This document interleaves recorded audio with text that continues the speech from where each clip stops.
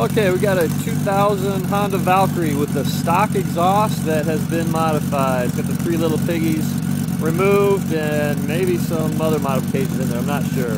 Just got the bike, but it's awfully loud and we're trying to quiet it down. So here it is 20 inches away from the exhaust using a downloaded uh, sound pressure meter. So at idle we're about 83 dB, 84 dB, something like that. We'll crank it up to 2,000 RPMs.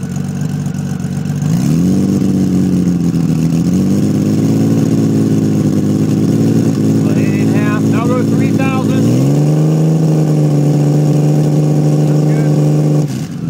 89.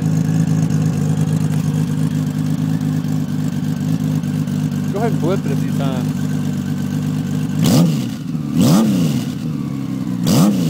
Okay.